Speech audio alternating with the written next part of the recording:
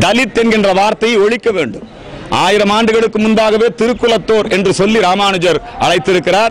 இனிமேல் schedule try அல்லது தாழ்த்தப்பட்டோர் என்று எங்கள் மக்களை அழிப்பதை த- அழைப்பதை தவிர்த்து அந்த திட்டங்களுக்கெல்லாம் திருக்குலத்தோர் நலத்திட்டங்கள் திருக்குலத்தோர் இடஒதுக்கீடு என்றுதான் அழைக்க வேண்டும். அத்தகைய உத்தரவை மத்திய மாநில அரசுகள் பிறப்பிக்க வேண்டும் என்கிற வேண்டுகோளை முன்வைக்கின்றோம்.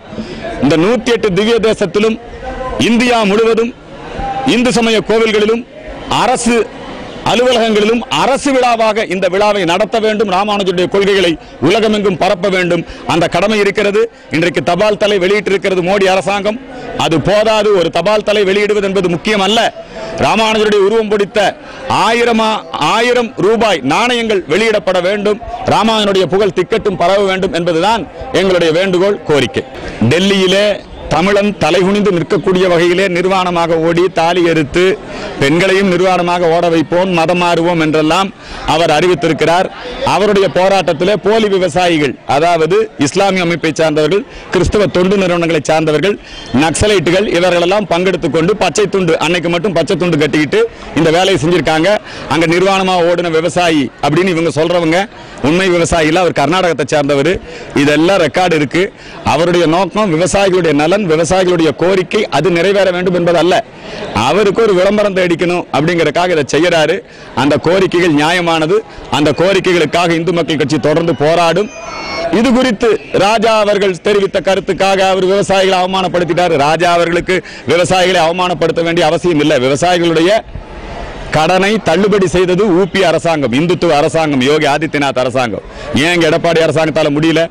ஐம்பது ஆண்டு காலமாக இங்கே விவசாயிகளை சுரண்டியது அழித்தது ஆதிக்கம் செலுத்தியது. யார்? விவசாயிகள் இந்த நிலைமை காரணம் யார்? திமுக அதிமுக. இவங்க வீட்டு முன்னாடி போய் போராட வேண்டியதுதானே இவங்க? ஆகவே இந்த போராட்டம் ஏற்றுக்கொள்ள முடியாத போராட்டம். இது குறித்து மத்திய மாநில அரசுகள் கவனித்து அந்த போலி விவசாயிகளின் போராட்டத்தை அரசாங்கம் முடிவுக்கு கொண்டு வர வேண்டும். விவசாயிகளுடைய கோரிக்கை நியாயமானது. நதிநீர் இணைப்பு காவிரி மேலாண்மை வாரியம் அமைக்க வேண்டியது. அதே போல விவசாயிகளுடைய கடன் தள்ளுபடி செய்ய வேண்டியது. இவற்றையெல்லாம் மத்திய அரசாங்கமும் சரி மாநில அரசாங்கமும் சரி விவசாயங்கிறது ஸ்டேட் சப்ஜெக்ட் மாநில அரசு தொடர்புடையது.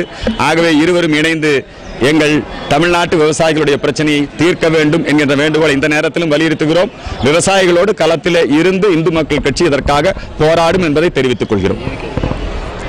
இவிகேஎஸ் இளங்கோவனுக்குத்தான் நாவடக்கம் தேவை. அவர் நாக்கில் சனி ஏற்கனவே கருணாநிதியை ஜாதியை சொல்லி விமர்சித்து அவர் எப்பவுமே பொம்பளைகளை கேவலப்படுத்தி அவர் கட்சி எம்எல்ஏவே கேவலப்படுத்தி இப்படி அதிரடி அரசியல் அதிரடி ஸ்டேட்மெண்ட் நடத்துபவர். மலிவான விளம்பரம் தேடுகிறார். எச் ராஜா நடமாட முடியாது என்று சொல்லுகிறார். இதெல்லாம் இந்த தமிழ்நாட்டில் நடக்காத ஒன்று. இது ஆழ்வார்களின் பூமி நாயன்மார்களின் பூமி. உங்களுக்கு தான் நடமாடுறதுக்கு குஷ்புவும் நக்மாவும் தேவைப்படும். எங்களுக்கு அது தேவையில்லை. இது ஹிந்துத்துவ அரசியல் புரட்சி. இது ராமானுஜருடைய ஆயிரமாவது ஆண்டு. இந்த தமிழகத்திலே வெடிக்கும் திராவிட இயக்கங்கள் அழியும் காங்கிரஸ் முக்தி பாரத் என்று சொல்லக்கூடிய அமித்ஷாவின் திட்டம் வெற்றி. காங்கிரஸ் இல்லாத இந்தியா கழகங்கள் இல்லாத தமிழ்நாடு உருவாகும். அதை நோக்கி நாங்கள் சென்று கொண்டிருக்கிறோம். உலகெங்கும் வாழும் தமிழ் உறவுகளுக்கு ரெட்பிக் சார்பாக நன்றிகளும் வணக்கங்களும். தொடர்ந்து மூன்று ஆண்டுகளை தாண்டி ரெட்பிக்ஸ் பயணிக்கிறது என்றால் அதற்கு முழுக்க முழுக்க உங்களின் ஆதரவு மட்டுமே காரணம். நீங்கள் எங்களுக்கு காட்டி வரும் ஆதரவுக்கு கோடான கோடி நன்றிகள். இன்றைய சூழலில் கார்ப்பரேட் நிறுவனங்களும் பெரும் முதலாளிகளும் அரசியல் கட்சிகளுமே மீடியா துறையில் கோலோச்சு வருகின்றனர். இவர்களுக்கு மத்தியில் மிக எளிமையான பின்புலத்திலிருந்து தொடங்கி உண்மையையும் நேர்மையையும் உழைப்பையும் மட்டுமே மூலதனமாக கொண்டு செயல்பட்டு வருகிறது ரெட்பிக்ஸ் இந்நிலையில் ரெட்பிக்ஸை மக்களுக்கான ஒரு மாபெரும் ஊடகமாக மாற்றுவதே எங்களது ஆசையும் கனவுமாக உள்ளது.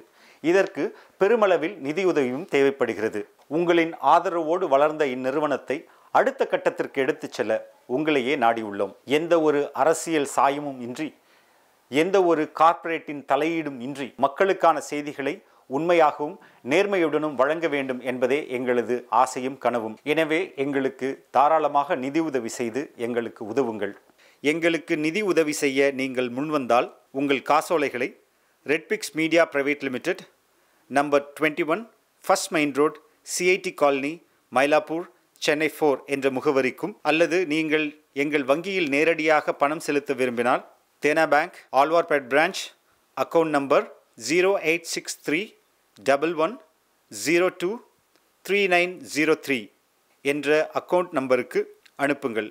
மேலும் வங்கியின் விவரங்கள் IFSC code BKD NO six two zero eight six three நீங்கள் கொடுக்கும் ஒவ்வொரு ரூபாயும் ஒரு நேர்மையான உண்மையான செய்தி சேனல் ஒன்றை உருவாக்க நிச்சயம் உதவும் நன்றி